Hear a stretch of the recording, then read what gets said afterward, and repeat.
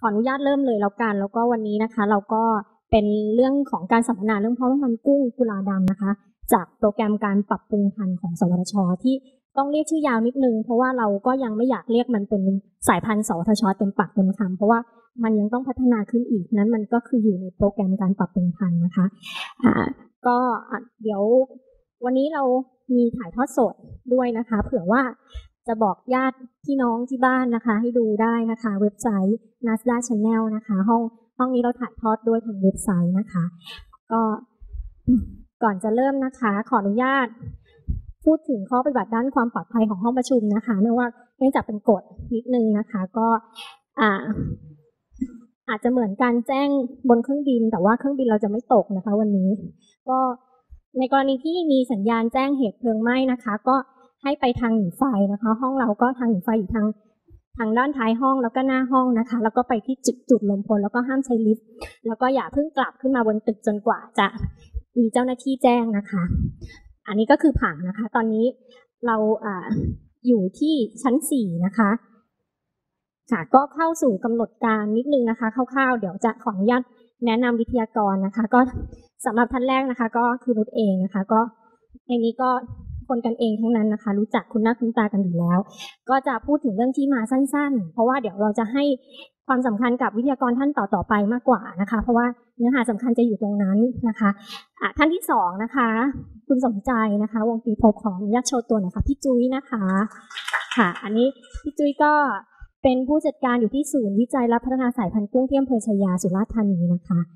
ก็เดี๋ยวจะมาเล่าเรื่องความก้าวหน้าเรื่อง อาการปรับปรุงพันธุ์กุ้งกุลาดำที่สวพกนะคะศูนย์วิจัยและพัฒนาสายพันธุ์กุ้งก็เราจะเรียกกันชื่อย่อๆว่า สวพกนะคะอ่าต่อไปก็อาจารย์ทั้งสองท่านเรานะคะ อาจารย์สุดหล่ออาจารย์วศิลป์อาจารย์บรรลังนะคะ จากมหาวิทยาลัยบูรพาวิทยาเขตจันทบุรีนะคะครับก็เป็นสองท่านผู้แอคทีฟแห่งวงการกุ้งกุลาดำอีก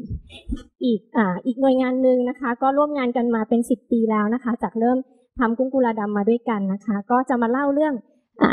ความก้าวหน้าของการพัฒนาพ่อแม่พันธุ์กุ้งดำของบุรพาซึ่งณตอนนี้ก็ไม่ได้มีเพียงแต่สายพันธุ์สวทช อย่างเดียว ยังมีกิจกรรมอื่นๆอีกเยอะแยะนะคะ มีความร่วมมือเกิดขึ้นที่นี่มากมายเลยนะคะท่านต่อไปนะคะก็สำหรับวงการกุ้งก็ใครไม่รู้จักท่านนี้ไม่ได้เพราะว่าเป็นมือผลิตกุ้งคุณภาพจริง ๆนะคะ คือถ้าไม่ดี ท่านนี้ไม่ขายจริง ๆนะคะ พี่ทวีมั่งเจริญนะคะ จากดีเพชรฟาร์มนะคะ เพราะอะไรเราถึงเชิญพี่วีมาวันนี้นะคะ เพราะว่าพี่วีเนี่ยมีความร่วมมือกับทางอาจารย์ทีมอาจารย์วสินกับอาจารย์บรรลังนะคะ ก็เอาพ่อแม่พันธุ์จากทั้งสายพันธุ์สวทช และสายพันธุ์ที่บุรพา พัฒนาอ่าเก็บเก็บขึ้นเองเนี่ยตรงเนี้ยก็เอาไปผลิตที่นี่ด้วยเดี๋ยวพี่วีจะเล่าฟังว่าเอาพ่อแม่พันธุ์กุ้งที่สวทชไปใช้ หรือว่าจะเป็นที่อื่นเนี่ยจะเป็นยังไงเดี๋ยวพี่วีจะเล่าให้ฟังนะคะ ก็วันนี้พี่วีก็มากับพี่ลำดวนใช่ไหมคะพี่ลำดวนก็อยู่ทางด้านหลังนะคะ ก็จากตีเพชรฟาร์มเช่นกันนะคะ แล้วก็เราจะพักเบรกหลังจากนั้นก็จะเป็นอาจารย์พัทธิลาพงษ์ทิพย์พาทีนะคะ อาจารย์จากมออนะคะ วิทยาเขตสุราษฎร์ มออเนี่ยก็จะเป็นเครือข่ายที่มีความร่วมมือกันในการตั้งศูนย์วิจัยภาษาพันธุ์กุ้งขึ้นมา ซึ่งตอนนี้อ่าอาจารย์แวนอาจารย์พัทิลาหรืออาจารย์แวนเนี่ยนะคะก็ได้พัฒนาแบรนด์ขึ้นมาแบรนด์หนึ่งภายใต้ของมออในเชิงของวิจัยนะคะ ก็เอาพ่อแม่พันธุ์กุ้ง จากสพชไปผลิตเป็นลูกกุ้ง แล้วก็จำหน่ายในแบรนด์พีชัวเดี๋ยวอาจารย์จะมาเล่าให้ฟังว่าจากพ่อแม่พันธุ์จากสพกไปผลิตใน แบรนด์พีชัวเนี่ยคุณภาพเป็นยังไงนะคะ และสุดท้ายนะคะ ตอนนี้กุ้งกุลาดำของพี่จุ้ยเนี่ยไม่ได้อยู่ที่ภาคใต้อย่างเดียว เดินทางไกลมาถึงบางขุนเทียนเลยนะคะ ก็เราเนื่องจากเราเรามีความใกล้ชิดกับมหาวิทยาลัยพระจอมเกล้าธนบุรีอยู่แล้ว นั้นเขตบริเวณบางขุนเทียนเนี่ยก็เป็นที่เลี้ยงกุ้งกุลาดำแบบแบบธรรมชาตินะคะ ก็ ตรงนั้นก็จะมีเกษตรกรอยู่มากมาย ซึ่งวันนี้นะคะอ่าคุณภาวินีพัฒนาจันทร์นะคะ อยู่ไหนเอ่ยอยู่ด้านหลังนะคะ อันนี้ก็จะประสานกับเครือข่ายเกษตรกรของเรานะคะที่ที่อยู่ที่บางขุนเทียนนะคะ ก็เดี๋ยวจะมาเล่าให้ฟังว่าอีกสไตล์หนึ่งของการเลี้ยงกุ้งแบบธรรมชาติเป็นยังไง แล้วก็คือเท่าที่รู้เนี่ยบอกได้คร่าวๆเลยว่าตัวใหญ่มากนะคะร้อยกรัมร้อยี่สิบกรัมขึ้น ขายส่งร้านอาหารบางขุนเทียนนะคะ คนสวทชยังไม่ค่อยมีโอกาสได้ทานเลยนะคะไซส์ใหญ่มากๆ แล้วก็มีพี่ๆเกษตรกรจากบางขุนเทียนมาสิบกว่าท่านนะคะ นั่งอยู่ทางด้านหลังก็ ก็ขอบคุณมากเลยนะคะ ที่มามาฟังพวกเราในวันนี้นะคะ ก็เราพยายามจะมีเวลาเผื่อช่วงท้ายไว้ดิสคัทนิดนึงนะคะ ก็เดี๋ยวนุขออนุญาตพูดในสไลด์แรกก่อนนะคะ ในเรื่องที่มาของพ่อแม่พันธุ์กุ้งกุลาดำ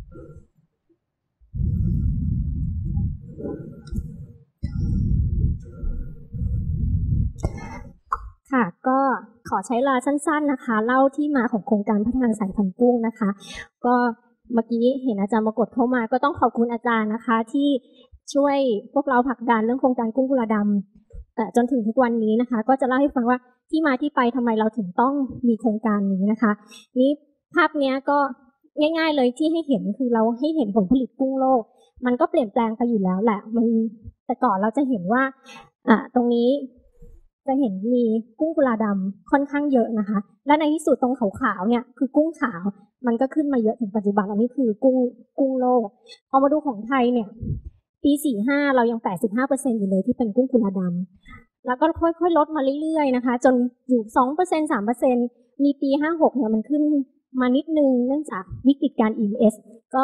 มีเกษตรกรจำนวนหนึ่งเนี่ยกลับมาเลี้ยงกุ้ง ก็มันก็จะขึ้นขึ้นลงลงประมาณนี้ค่ะ ไม่ได้ไม่ได้ขึ้นไปมากกว่านี้นั้นอันนี้ก็คืออ่าปริมาณผลผลิตกุ้งสองชนิดของประเทศไทย ทีนี้เนื่องจากเมืองไทยเนี่ยมีความสามารถทั้งในกุ้งดำและกุ้งขาวนะคะ ประเทศไทยมีความสามารถในการเลี้ยงเนี่ยจะเห็นว่ารอบเยอะกว่า พื้น ภายใต้พื้นที่ที่น้อยกว่าคนอื่น เพราะนั้นอันนี้คือศักยภาพของเกษตรกรไทยที่สามารถทำได้นะคะอ่าซึ่งสัดส่วนการเลี้ยงของกุ้งขาวและกุ้งดำก็จะแตกต่างกันแต่ละประเทศ ซึ่งตอนนี้ก็ค่อนข้างน่ากลัวในภาพของอุตสาหกรรมทั้งหมด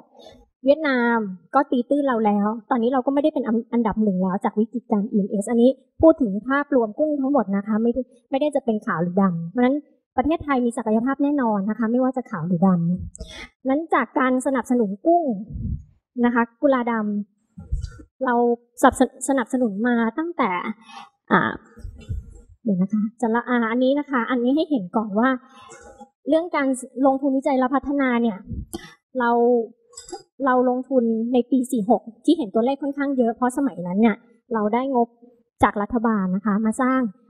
ศูนย์วิจัยและพัฒนาสายพันกุ้ง ลงทุนตรงนั้นเสร็จแล้วก็ หลังจากนั้นก็มีการสร้าง SRD สร้างบริษัทวิจัยพนากุ้งนะคะหรือ SCRD หลังจากนั้นก็หยุดไปนะคะ แล้วก็พอเราสร้างศูนย์เสร็จประมาณปี 50 เนี่ย ก็กุ้งกุลาดำก็ตกลงไปหนึ่งเปอร์เซ็นต์ฉะนั้นช่วงเวลาที่ผ่านมาเราจะต้องตอบคำถามอุตสาหกรรมเสมอว่าทำไมเรายังทำกุ้งกุลาดำนะคะนั้นจุดเริ่มต้นคือสมัยปี 2002 เนี่ยไมเคิลอีพอตเตอร์เข้ามาศึกษา แล้วก็เลือกให้เราต้อง พัฒนาเรื่องอุตสาหกรรมกุ้งกุลาดำเป็นหลักเพราะนั้นจึงอันนี้เป็นจุดเริ่มต้นเลยที่ทำไมเราถึงเริ่มเรื่องกุ้งกุลาดำนั้น ปี 40 เนี่ยเราตั้งบริษัทวิจัยและพัฒนาการเพาะเลี้ยงกุ้งนะคะ หรือ SCRD สมัยนั้นก็ยังเป็นกุ้งกุลาดำอยู่แล้ว พอปี 45 ก็มีการมาคุยกันใหม่อีกที ก็ทุกคนก็ยุติว่าจะไม่ลงหุ้นกันแล้วนะคะ บริษัทนี้ก็หยุดไปแล้วทุกคนก็กลับไปทำเอาองค์ความรู้ที่มีไปทำต่อ นั้นไบโอเทคไบโอเทคก็คือศูนย์ภายใต้สวทชเนี่ยก็นำกุ้งมาเลี้ยงต่อ ซึ่งตอนนั้นเราใช้พื้นที่ของ CPU เราทำได้ถึงรุ่นที่ 8 นะคะณวันนั้น ซึ่งก็เป็นบ่อเปิด เป็นบ่อไม่ปลอดโลก ก็กุ้งตอนนั้นก็เสียหายไป จนมาปี 46 เราได้งบกลางนะคะ มาสร้างศูนย์วิจัยและพัฒนาสายพันธุ์กุ้งที่ชัยยาสุราษฎร์แล้วก็ที่นี่ก็จะมีระบบไบโอซิเคียวสูงมากเลย เราก็เริ่ม ศูนย์เนี้ยสร้างเสร็จเราเริ่มโอเปเรตปี 50 นะคะ ระหว่างนั้นเราก็เกิดการกรรมการคลัสเตอร์กุ้งที่ท่านโคสิตมาเป็นคณะกรรมการมาเป็นประธานให้ด้วยนะคะนั้นอันนี้คือประวัติศาสตร์ว่าทำไมเราถึงเริ่มทำนะคะ กุ้งกุลาดำนั้นจากปี 50 เนี่ยเราเริ่มรันเริ่มดำเนินการเปิดศูนย์วิจัยและพัฒนาสายพันธุ์กุ้งตั้งแต่วันนั้น แล้วก็กุ้งที่บอกว่ารุ่น 8 เนี่ยก็ ถือว่าสูญหายไปเนื่องจากโรคระบาดแล้วก็เริ่มต้นใหม่นะคะ จริงๆเรานับก็คือถ้าเรามีองค์ความรู้อยู่ แต่เราก็เริ่มสะสมใหม่ตั้งแต่ปี 50 ซึ่งเดี๋ยวพี่สมใจจะเล่าให้ฟังนะคะ ว่าณตอนนี้สายพันธุ์เป็นยังไงนะคะนั้นคณะกรรมการคัสเตอร์กุ้งที่มีท่านโคสิตเป็นประธานเนี่ยก็จะมีผู้ที่เกี่ยวข้องหลาย ๆ หน่วยงานนะคะร่วมเป็นคณะกรรมกรรมการร่วมกัน ซึ่ง ทุกครั้งที่ประชุม ทุกครั้งที่เราไม่มั่นใจว่าเราจะทำกุ้งกุลาดำต่อไหมเราจะกลับไปหาโต๊ะนี้ ซึ่งทุกคนจะบอกเลยนะคะว่า ยังไงก็ต้องทำกุ้งกุลาดำต่อให้เสร็จนะคะ ซึ่งก็เป็นเหตุผลที่เรายังต้องอ่าเราต้องใช้ความพยายามกันต่อไป ซึ่งทีมงานที่อยู่ในนี้นะคะ ซึ่งวันนี้อาจจะไม่มีทางอาจารย์สถาพร อาจารย์สุวิทย์ที่วลัยลักษ์มา ซึ่งก็เป็นหนึ่งในเครือข่ายเราที่สำคัญนะคะ ก็คือ Quarantine Center นะคะ อาจารย์ก็ร่วมทำกับเรามาตั้งแต่เริ่มต้นนะคะ ในการคัดเลือกประชากรปลอดโรคตั้งต้น แล้วก็มาอยู่ที่ศูนย์วิจัยว่าสายพันธุ์กุ้งนะคะ แล้วก็จากนั้นเราก็จะส่งลูกกุ้งมาเลี้ยงเป็นพ่อพันธุ์จำนวนเยอะๆอยู่ที่ศูนย์เพิ่มจำนวนพ่อแม่พันธุ์บุรพาจันทบุรีนะคะ อันนี้ก็คือที่ Quarantine Center อันนี้ อันนี้ศูนย์วิจัยและพัฒนาสายพันธุ์กุ้ง เดี๋ยวพี่สมใจจะมาเล่ารายละเอียด อันนี้ที่จันทบุรีนะคะศูนย์เพิ่มจำนวนพ่อแม่พันธุ์กุ้งกุลาดำซึ่งตอนนี้ก็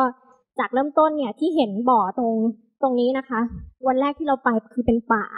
ณตอนนี้สวยงามอลังการมากขยายพื้นที่มากมายนะคะ มีความร่วมมือเกิดขึ้นที่นี่ค่อนข้างเยอะค่ะตอนนี้เราเรามี DMC เพิ่มขึ้นอีกที่นะคะ ก็คือที่คุณพงชัย ที่สุราษฎร์ธานีนะคะอันนี้คุณพงชัยก็ให้ความร่วมมือเราเป็นอย่างดีนะคะ ในการใช้สถานที่ตรงนี้เลี้ยงพ่อแม่พันธุ์เพิ่มนั้นเราก็จะไม่ได้มีที่บูรพาที่เดียวและ จะมีที่สุราษฎร์เพิ่มอีกที่หนึ่งเอารับลูกกุ้งตัวเล็กๆไปเลี้ยงเป็นพ่อแม่พันธุ์ซึ่งอนาคตก็จะมีเพิ่มขึ้นอีกนะคะ อันนี้ตั้งแต่เราเริ่มทดสอบกุ้งล็อตแรกแรก ๆ เลยนะคะ ประมาณ 4950 ก็อันนี้ไปที่จันทบุรี แล้วก็หลังจากนั้นเราก็เริ่ม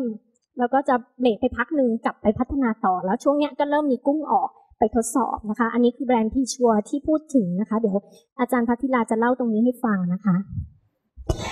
อันนี้ก็คือแสดงให้เห็นว่าตรงกลางเนี่ยคือศูนย์วิจัยมาสายพันธุ์กุ้ง เราต้องมีศูนย์เพิ่มจำนวนพ่อแม่พันธุ์รอบๆอันนี้ซึ่งเดี๋ยวเราต้องไปตกตะกอนตัวเลขว่า จากความต้องการกุ้งกุลาดำนะปัจจุบันเราต้องมีศูนย์ตรงนี้หรือ DMC เพิ่มอีกสักกี่ที่นะคะ อันนี้ให้เห็นว่าตอนนี้กุ้งดำกุ้งขาวตอนนี้ ในโลกนี้เลี้ยงอยู่ตรงจุดไหนบ้างนะคะ สีเหลืองๆก็คือกุ้งกุลาดำนะคะ สีแดงๆนะคะ ก็จะเป็นบริเวณที่เลี้ยงกุ้งขาว ค่ะก็ขาดไม่ได้ในเรื่องงานวิจัยนะคะ วันนี้เราก็มีนักวิจัยนั่งอยู่ในห้องนี้ด้วย งานวิจัยที่ต้องเดินไปคู่กัน คือเรื่องการศึกษาเรื่องระบบสืบพันธุ์เพราะว่าครั้งแรกที่เราทำเลยกุ้งเราได้ไข่น้อยมาก ณตอนนี้เราได้หลายแสนหลักล้านก็มีจากเริ่มต้นหลักหมื่นนะคะ ไข่ ตอนนี้เราก็เพิ่มขึ้นเรื่อยๆ เราเข้าใจมันมากขึ้นนะคะ กุ้งก็มีความเป็นโดเมสิเคตมากขึ้นด้วยอนอกจากระบบสืบพันธุ์แล้วเราก็ต้องศึกษาเรื่องอาหารด้วยนั้นระบบสืบพันธุ์นี้เราก็จะนำไปสู่ว่าเราจะทำอาหารให้พ่อแม่พันธุ์กุ้ง ได้ยังไงให้ระบบสืบพันธุ์มันเจริญนะคะ แล้วก็เรื่อง selective breeding program ซึ่ง เดี๋ยวพี่สนใจจะเล่าให้ฟังนะคะว่าจากการเอาการคัดพันธุ์แบบดั้งเดิมหรือ conventional breeding เข้าไปจับเนี่ยการเจริญเติบโตมันดีขึ้นจริง ๆนะคะ แล้วก็ระหว่างนี้เราก็ยังมีการพัฒนา marker นะคะ เครื่องหมายคัดเลือกนะคะ เครื่องหมายไปคัดเลือกกุ้งที่โตเร็วอีกนะคะ ก็เป็นนักวิจัยของไบโอเทคก็ที่ทำอยู่ตอนนี้ก็ขนานกันไปซึ่งก็จะทำให้การการพัฒนาสายพันธุ์กุ้งเราก้าวกระโดดมากขึ้น ค่ะ อันนี้เครือข่ายของเรา ก็จะมีส่วนที่เป็น ศูนย์ไบโอเทคนะคะแลบต่างๆ มีแฮชเชอรี่นะคะ ก็ต้องขอบคุณพี่บรรจงนะคะ ที่เริ่มโครงการนะคะลองดูคุกฟานกับเรามาตั้งแต่แรก ช่วยเอากุ้งของเราไปบีบนะคะ ตั้งแต่วันที่ยังไม่เข้าใจกุ้งของเราเลยว่าต้องขุนยังไงเลยยังไง จนพี่จงเป็นมือแรกที่เข้าใจกุ้งเราเป็นอย่างดีนะคะ แต่เนื่องจากตอนนี้ภารกิจพี่จงเยอะมากก็ ก็ตอนนี้ก็ได้พี่วีที่ตีเพชรมาช่วย เป็นที่ทดสอบพ่อแม่พันธุ์เราอีกแรงหนึ่งนะคะ ก็มีมหาวิทยาลัยสงขลานครินทร์ BMC เป็นคุณพงชัย ก็จะมีเครือข่ายอยู่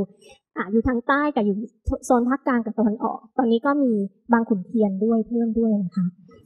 ค่ะก็เมื่อเปรียบเทียบนะคะ การวิจัยเรื่องกุ้งขาวกับกุ้งดำอันนี้เป็นข้อมูลมาจากเปเปอร์เลย คือเราเนี่ยจริง ๆ กุ้งดำเนี่ยมีการพัฒนามาตั้งแต่ปี 70 แล้วจริงๆ เกิดก่อนกุ้งขาว แต่ไม่ได้รับความสนใจมากเท่าที่ควร มันก็ซาไป แต่อย่างไรก็ตามในต่างประเทศหรืออเมริกาเขาก็ยังทำอยู่ แต่เอเชียเนี่ยให้ความสนใจน้อยมาก ก็ถือว่าศูนย์วิจัยและพัฒนาสายพันธุ์กุ้งที่เรามีอยู่เป็นที่แรกที่มี infrastructure ที่สมบูรณ์ขนาดนี้ในเอเชียนะคะ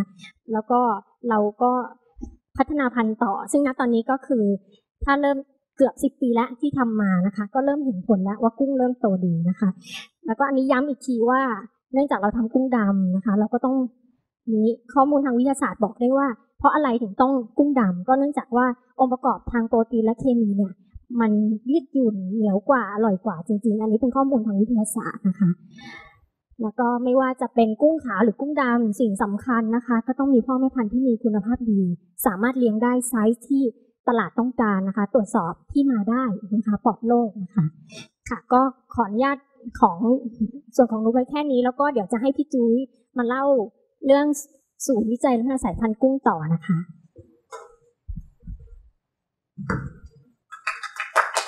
ขอบคุณค่ะ